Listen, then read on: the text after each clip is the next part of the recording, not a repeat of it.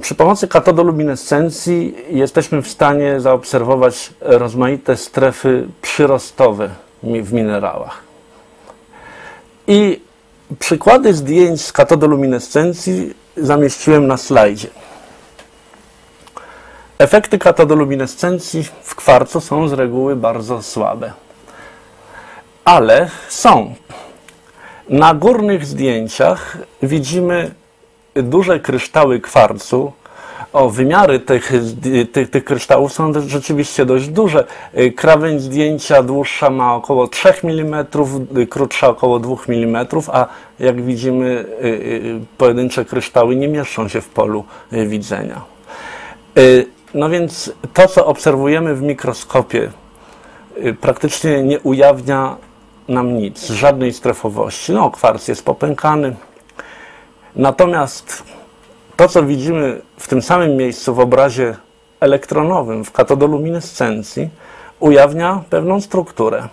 Mianowicie, w obrębie y, ziarna kwarcu występuje struktura centralna, owalna, która ma luminescencję niższą, jest ciemniejsza, niż partie zewnętrzne. Taka, takie zachowanie nie jest obserwowane w jednym krysztale, tylko w bardzo wielu kryształach kwarcu. Z tym, że rozmiary strefy centralnej, mniej lub bardziej okrągłej, owalnej, i rozmiary strefy zewnętrznej bardzo się różnią od siebie. Z reguły strefa, zewnę strefa zewnętrzna jest bardzo mała. Cały kwarc praktycznie jest tą strefą wewnętrzną. Otóż ja interpretuję to w ten sposób, że strefa wewnętrzna jest to kwarc, który jest kwarcem odziedziczonym po etapie krystalizacji z magmy. Natomiast od krawędzi ziarna, czyli od tych miejsc, prawda, do centrum następowała, następował proces y, powolnego rozpuszczania i krystalizacji, czyli y, rekrystalizacji kwarcu, który się zatrzymał w określonym miejscu. Po prostu dalej już nie doszedł. Y, dlaczego w ten sposób to interpretuję? Ponieważ trafiłem na takie ciemne strefy, które są wspólne nie dla pojedynczego kryształu kwarcu, a dla ugrupowania kryształów kwarcu. Proszę bardzo, widzimy tutaj dwa ewidentnie różne kryształy kwarcu przylegające do siebie. I te dwa kryształy kwarcu tworzą oczywiście dwa i jeszcze zapewne inne dookoła, tworzą jedno większe ziarno i w centrum tego ziarna, niezależnie od tego, że ono jest złożone z wielu kryształów, jest jakaś wspólna, mniej lub bardziej regularna ciemna strefa. Interpretuję to właśnie tak, że całe ziarno kwarcu złożone z kilku kryształów podlegało od krawędzi ziarna do centrum procesowi wtórnego rozpuszczenia i krystalizacji, która, której front zatrzymał się w którymś momencie. Procesy rozpuszczenia i krystalizacji są znane w przyrodzie i chociażby yy, takim przejawem, który wszyscy znamy, są stylolity w wapieniach. Są to szwy pomiędzy yy, widoczne bardzo dobrze, jak obserwujemy na przykład posadzki w kościołach, posadzki wykonane z wapieni. Wapień z reguły nigdy nie jest jednorodny, powierzchnia jego jest pocięta takimi zygzakowatymi szwami. Są to stylolity i te stylolity są właśnie przejawem rozpuszczania wzajemnego i, i krystalizacji y, kalcytu, czyli y, składnika y, budulcowego wapieni, wzdłuż szczelin, którymi penetrowała woda, roztwory wodne. Następuje lokalnie proces rozpuszczania pod wpływem tych roztworów minerałów, które sąsiadują z taką szczeliną, i oczywiście te minerały rekrystalizują bardzo szybko. Tworzą się szwy. Wydaje mi się, że zaobserwowanie takich zjawisk w kryształach z kwarcu w badanych przeze mnie próbkach upoważnia mnie do sformułowania tezy, że drugi, drugim minerałem, którym, który mogę wziąć do odczytania temperatury procesu, który zaszedł po warunkach magmowych, a więc procesu chlorytyzacji biotytu, może być kwarc. Na skutek tego, że jest dowód na to, że on podlegał rozpuszczaniu i krystalizacji pod wpływem jakichś roztworów. Wiadomo, roztwory pojawiły się w momencie wtedy, kiedy y, biotyt zaczynał się y, chlorytyzować, bo one, dopływ roztworów y, zapoczątkował chlorytyzację. I rzeczywiście, jeśli się spojrzy na wyniki liczbowe składu izotopowego tlenu w próbkach kwarcu, to one się układają z jakąś prawidłowością w stosunku do zaobserwowanych w katodoluminescencji rozmiarów strefy wewnętrznej. Te próbki, które może tak, te próbki, które mają stosunkowo najmniejszą strefę wewnętrzną, mają stosunkowo najwyższą wartość izotopową delta 18O, yy, czyli tlenu yy, spośród pomierzonych próbek. Do obliczeń temperatury z par minerałów chloryt i kwarc wziąłem następujące dane. Delta 18O chlorytu jest to, jest to wartość 2,8 i delta 18O kwarcu 10,9 jest to wartość charakterystyczna dla próbki o stosunkowo najmniejszym wymiarze strefy wewnętrznej w kwarcu, czyli tej próbki, której stosunkowo największa objętość została uruchomiona w trakcie procesu pomagmowego, w trakcie procesu chlorytyzacji. Frakcjonowanie liczbowo wynosi 8,1, w związku z tym, podstawiając do wzorów, Temperatura chlorytyzacji wynosi 297 stopni Celsjusza. Proszę porównać z temperaturą magmową rzędu 600 stopni. Dysponujemy również narzędziem, które się nazywa geotermometry. Są to geotermometry bazujące na rozdziale pierwiastków pomiędzy minerały, y, który to rozdział jest związany z temperaturą. Y, bądź też pomiędzy pozycje strukturalne w, danych, w danym minerale. I dla chlorytów mamy, określone, mamy określonych kilka geotermometrów. Y, wykorzystałem dwa z nich, y, tych autorów. Dla jeden z tych geotermometrów daje skład, daje temperaturę 315 stopni, natomiast w przypadku chlorytów sferulitycznych 360 stopni, drugi 335 stopni i w przypadku chlorytów sferulitycznych 377 stopni Celsjusza. Dominującym ilościowo chlorytem jest chloryt pobiotytowy, a więc patrzymy na te temperatury i te temperatury należy porównywać z tą e, ze składu izotopowego. Uważam, że ta temperatura jest y, no, pewniejsza. Y, te y, temperatury z geotermometrów chlorytowych są niejako dla weryfikacji, czy nie, są, czy, czy nie uzyskaliśmy wartości po prostu astronomicznej. Wydaje się, że zgodność jest bardzo dobra. Z geotermometrów chlorytowych wynika z kolei, że składy chemiczne chlorytów sferulitycznych wskazują na to, iż one w stosunku do chlorytów pobiotytowych wykrystalizowały nieco wcześniej.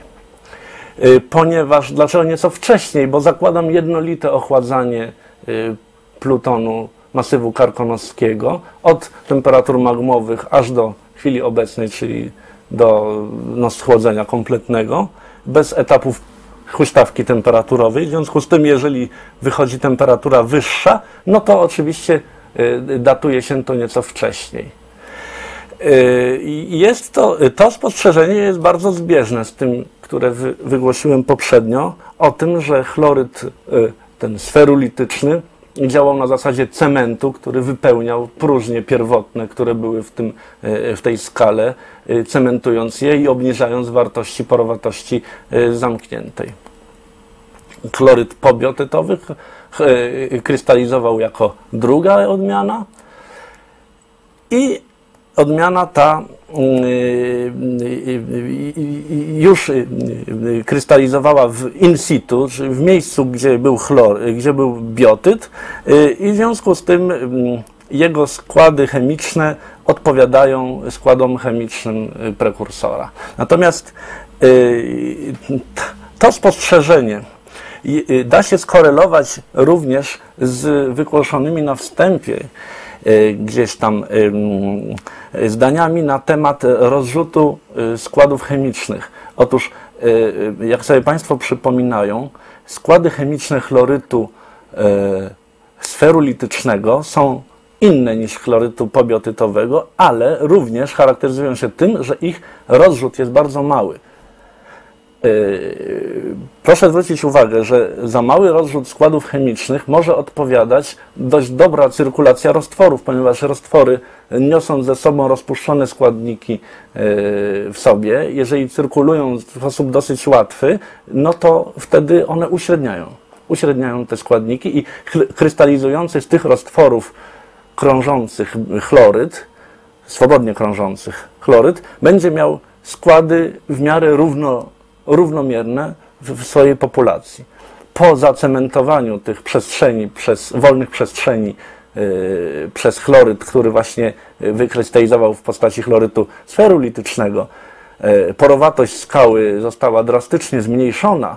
Roztwory, które przepływały przez skałę, yy, przepływały w warunkach dużo powolniejszych i, i, i ich komunikacja wzajemna była ograniczona. W związku z tym y, y, chloryt pobiotytowy wykazuje dość duży rozrzut wartości parametrów chemicznych. Po prostu one y, od ziarna do ziarna te chloryty nie miały szans ujednolicić swojego składu. Mówię o chlorytach pobiotytowych. Na osi poziomej jest naniesiona zmienność izotopowa tlenu, na osi pionowej zmienność izotopowa wodoru. Jest to klasyczny diagram literaturowy, diagram Craiga naniesione są pierwotne wody magmowe. Jest to pole ściśle określone, ograniczone. Jest linia wód meteorycznych zaznaczona i bardzo ograniczone pole wód oceanicznych. Y, krystalizacja biotytu zachodziła w temperaturze 600 stopni Celsjusza, najbardziej prawdopodobna temperatura, y, i składy izotopowe czystych biotytów doskonale pasują do składu pierwotnych wód magmowych.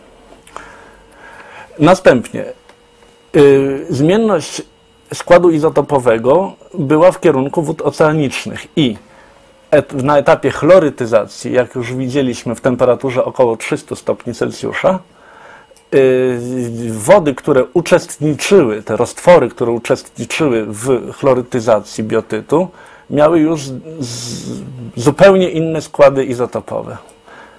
Składy izotopowe ewoluują od, y, na etapie, od etapu magmowego do etapu chlorytyzacji w kierunku wód oceanicznych.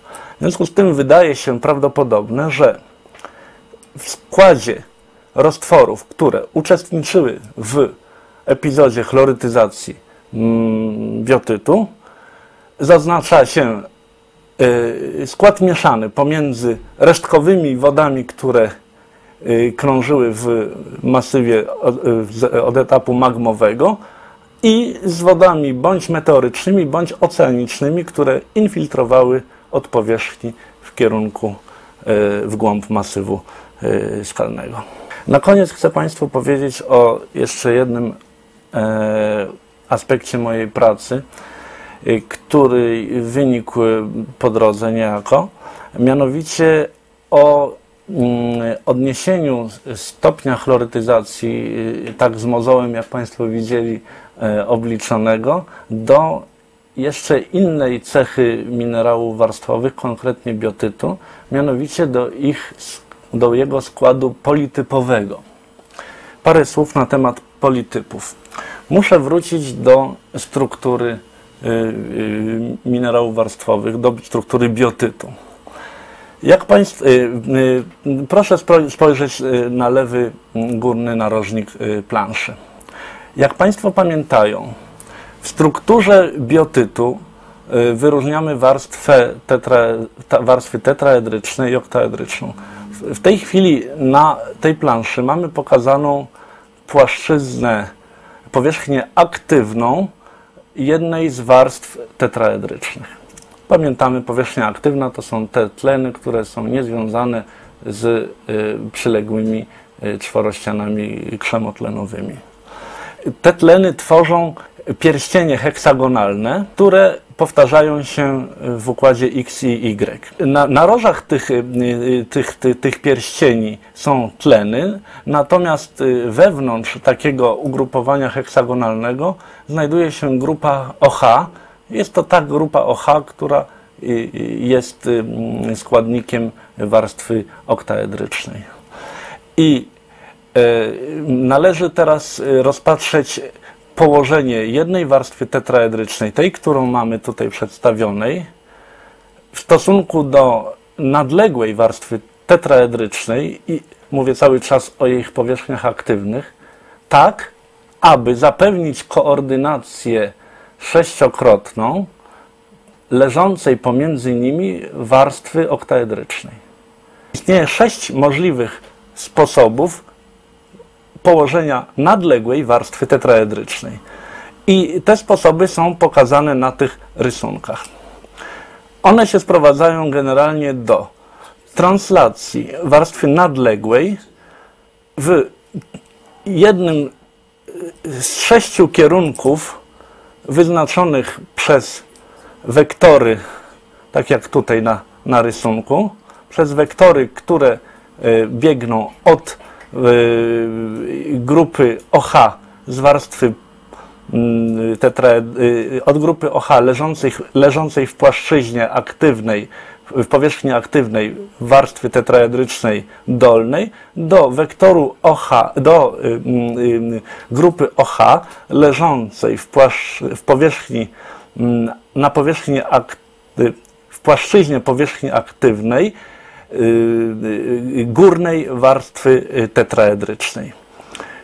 Te wektory, to jest to sześć, sześć wektorów, które to definiują bazując na takim, na takich sześciu sposobach nałożenia górnej i dolnej warstwy tetraedrycznej w obrębie pakietu 2 do 1, zdefiniowano sześć różnych tak zwanych politypów. Politypy te y, mówią właśnie o sposobie ułożenia poszczególnych warstw jedna nad drugą.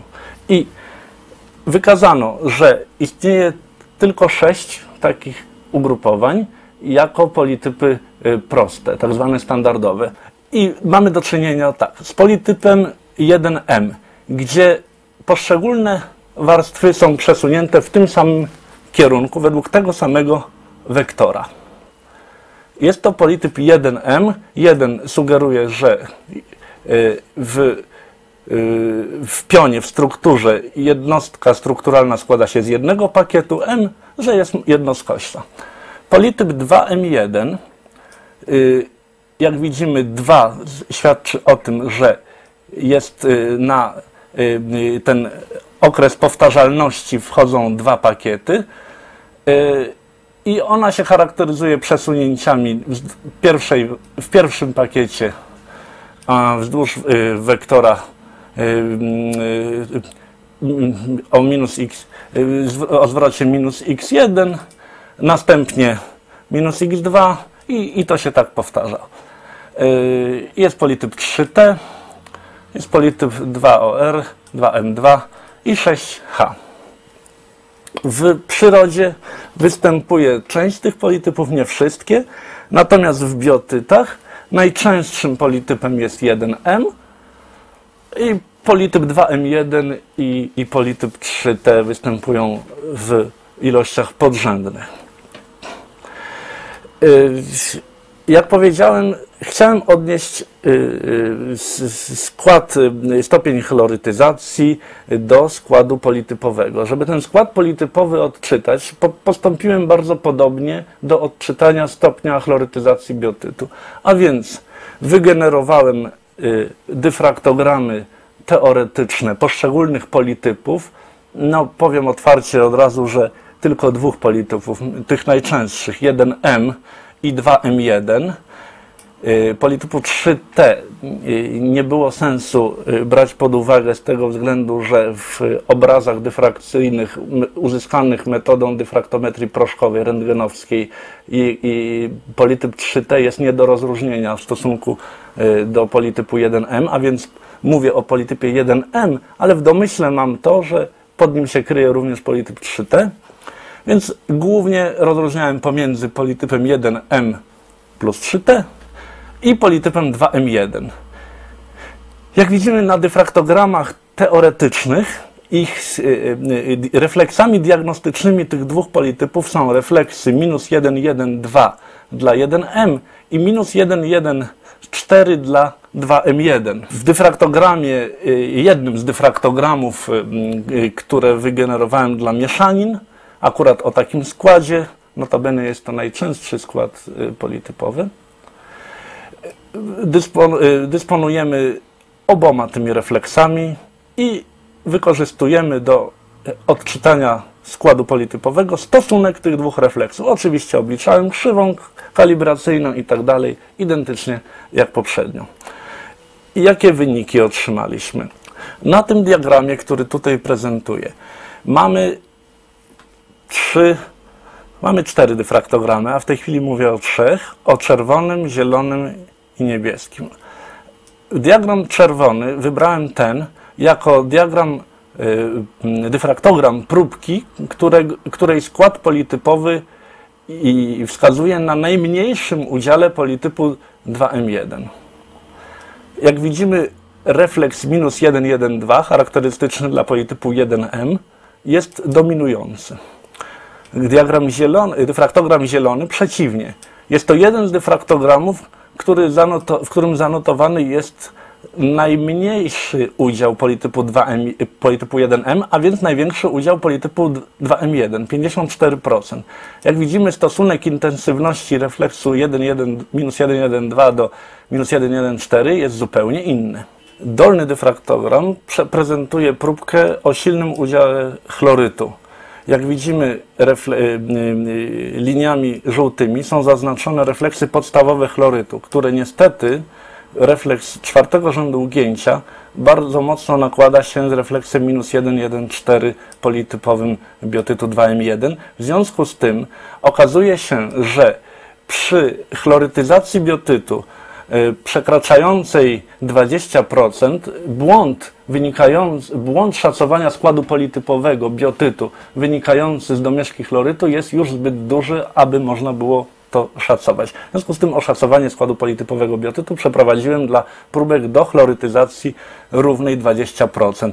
A górny dyfraktogram to jest dyfraktogram przy, y, który był zbierany bez, bez użycia dodatkowej techniki, o której nie mówiłem, mianowicie ta technika pozwoliła wy, wzmocnić refleksy politypowe, bo jeżeli y, y, mm, jest to metoda ukośnych tekstur, jeżeli zastosujemy dy, dyfraktometrię bez tej metody, no to jak widzimy refleksy, to jest y, y, dyfraktogram tej samej próbki co ta, y, refleksy politypowe, na, przy- na przykład minus 1,1,2 są bardzo słabe i mówienie o stosunkach praktycznie jest pozbawione sensu. Obliczony, oszacowany skład politypowy wyrażony udziałem politypu 2M1 w mieszaninie z politypem 1M y, waha się w moich próbkach od 30 do około 60%. Okazuje się, że on się koreluje dość dobrze ze składem izotopowym tlenu w biotycie. Jest to korelacja liniowa, polegająca na tym, że y, polityp y, 2M1 gromadzi w swoim y, składzie y, y, izotop, lżejszy izotop y, y, tlenu. Proszę Państwa, to są główne y, tezy y, wystąpienia, które przed Państwem y, miałem. Bardzo dziękuję za uwagę. Jeżeli Państwo byli zainteresowani, jest mi miło. Natomiast dla tych, którzy chcieliby dowiedzieć się czegoś więcej, polecam moją publikację, która ukazała się w 2002 roku w Chemical Geology. Dziękuję.